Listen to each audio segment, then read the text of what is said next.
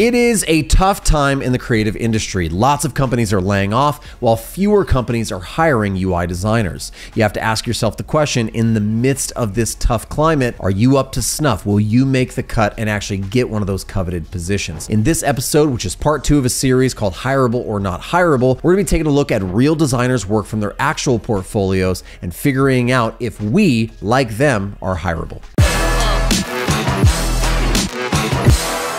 Before we jump in, a quick reminder that uh, we're not here to throw shade or hate on any of these designers that we're about to talk about. This is for educational purposes so we can do some self assessment and figure out whether or not our work is hireable or not hireable. And so we're to jump right in here, starting with our not hireable category. We're to zoom in on our dashboard, and that's what we're to be focusing on today a lot of dashboard interfaces, starting with this dark themed version that we have here. And this type of work, I'll just say it flat out, is not hireable. Why is it not hireable?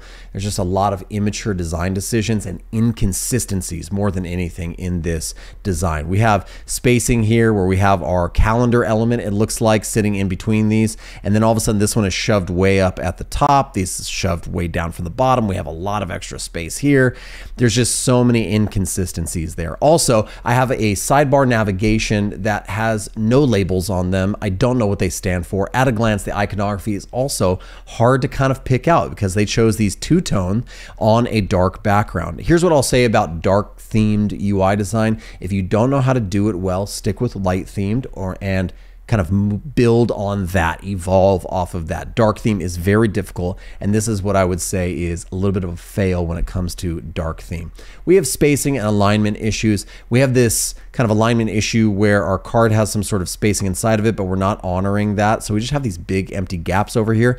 And I don't know what they're trying to accomplish by these stacks, but it just looks like way too much drop shadow. And the whole thing just feels a little bit like a garage sale. It doesn't quite feel like the mature dashboard usable experience that you're hoping for. Let's take a look at another not hireable UI design. This one is a light mode version. Using color kind of interesting, but we still have that issue where our sidebar navigation has no labels. So it's not super usable. Accessibility is a, a big issue here. Also, as I move down the navigation, it feels like I get to the end, but then I have this kind of swoopy thing. So then now I have the log out down here and we have a swoopy thing over here. The, all of this swoopy stuff and the kind of like addition of gauges and dials tells me that this UI designer is not planning on actually pushing this into production because it's not going to be used well or received well. They're probably a little bit more interested in designing something for Dribbble or Behance. And again, nobody wants to hire your Behance or your Dribbble portfolio. They want to hire people who can actually bring value to a product, actually ship products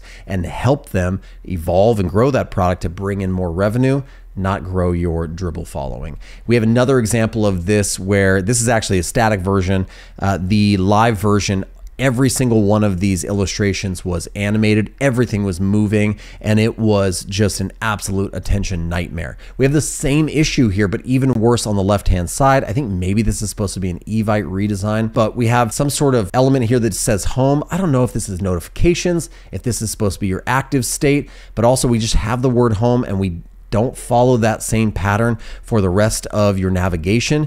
The whole thing just feels like confused, really. And also, we have this large, large search bar. Um, we have kind of this weirdly balanced navigation up top, but we're searching. I don't really see any examples, and there was no examples in the rest of the screens on what kind of content we're actually searching for. And so, this whole thing feels like they did a user interface challenge in five or 10 minutes and then tried to pass it off as some sort of case study. They didn't take the time, and so therefore, I'm going to call that one and the rest of them not hireable. Let's take a look at some almost hireable designs here. We have what kind of for a moment looked like a redesign of Dropbox, but has more to do with income statements and P&L statements, so a financial dashboard of some kind.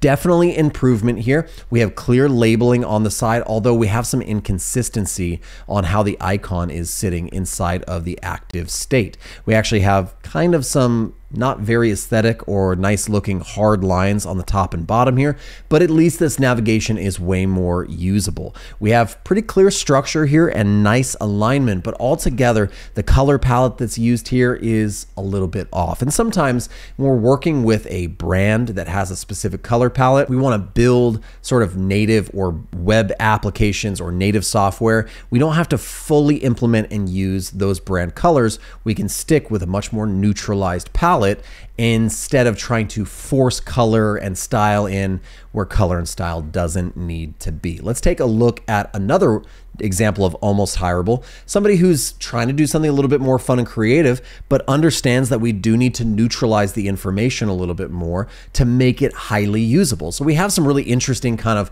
almost like a Twitter banner or LinkedIn banner, like a cover image like you would find in Notion, but we have like a really clean and simple sidebar, and we have a lot of really clean and simple user interface information over here.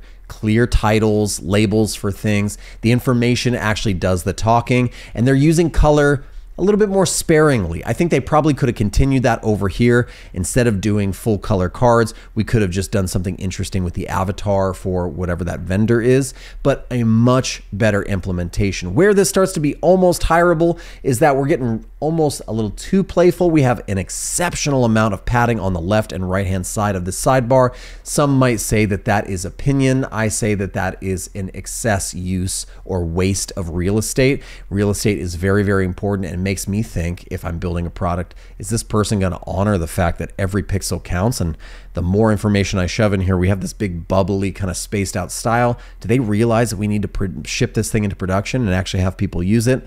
I'm not sure. So they're almost hireable. Let's look at the best of the almost hireable category. And this definitely teeters on hireable, but we do have, again, a little bit of an issue with that navigation sidebar. There isn't a use case where it can be okay, especially if we're taking something like a dashboard or some sort of web application and starting to get responsive in that navigation, we might want to see it collapse and have more of a responsive state. So I'm willing to accept it. Why? Because the rest of the design is actually really, really beautiful.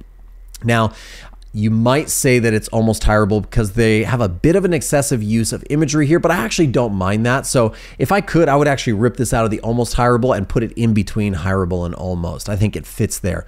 We have really beautiful user interface elements, clear patterns that everyone knows, loves, and understands. My search bar here is very, very clear, much better than that search bar that was taking up too much space in that Eventbrite redesign we saw earlier. We have tooltips for information and help. User affordances are here. We have nice clear structure and we're just breaking grids a little bit to be playful. I think that the, that's okay. And I think that even the use of color here is okay because so much of this has been neutralized. And we have a brand color that has multiple different stops on the color scale that's being used. The whole thing feels much more mature. And so even though we've put this in the almost hireable, I'm actually just going to say that it's pretty hireable. It's pretty good looking work. Let's go to the completely hireable looking work. I'm going to zoom in and talk immediately about color. If you want to be playful when it comes to color, there is a time and a place to be playful. We can do that in specific little moments, right? For instance, the color of our avatars, like I said earlier, they're standing out. I can actually read them. I know exactly what those are, and they're highly identifiable.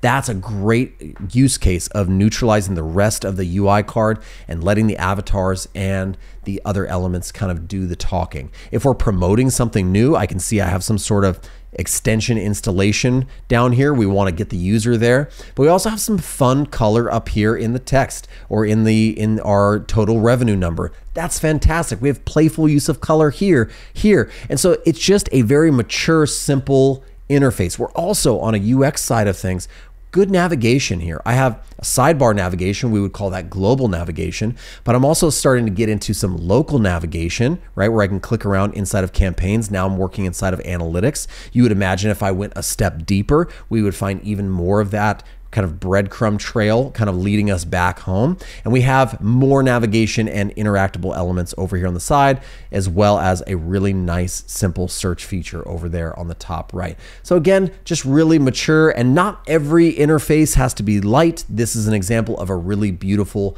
dark interface. Again, breaking my own rule of saying that these need to have some sort of label. Again, not always do they have to have a label if the iconography can be very, very clear and we create real consistency around our icons. Same size for the icons, same size for the container they're sitting in, very clear active state, very clear notification state. Beautiful. Our color that we have here for call to action is only used in a couple of sparse little moments. Clear call to action here, call to action towards the graph, and really it's letting the color of the graphs themselves do the talking. And we're kind of reusing that call to action color for a little bit of a marketing moment either upsell the user or add them some sort of benefit. But again, crisp, clean, alignment, the proximity of things, the typographic rhythm, and all of that is just locked on and looking really beautiful and mature. And in our final example of hireable UI design, we have a really modern and I would say very, very unique and playful. And this is why I love this design so much. It is unique. It doesn't look like it was just pulled out of a UI kit. There's something very customized about this UI design, about this dashboard interface we're looking at. The graphs are very, very interesting. We are making a little bit of a moment for some imagery. So imagery is there, but it's not overdone. And we have a really cool style that's been introduced, and that style is being implemented pretty much at scale, right? So we have kind of this style of these boxes and kind of like crisp corners inside of our nice rounded cards. You can see here we're also using a little bit of this dot pattern in multiple places so it brings some consistency about. And really we're creating a kind of fun experimental bento interface. And even though it's experimental, it doesn't look like every dashboard interface I've ever seen. It's still very, very interesting and it's still very structured. It's very functional. It seems seems to me like it could actually work. So this is very hireable because you're pushing the limits and doing stuff that maybe my company or the company that's hiring has never done, but we would like to do, and maybe you can lead us there. That tells me that this type of design work is very, very desirable and very hireable. Well, that's it for the video. Let me know what you thought down in the comments. Do you agree or disagree with any of these designs as I categorize them into one of these three categories? I would love to hear your thoughts and start a conversation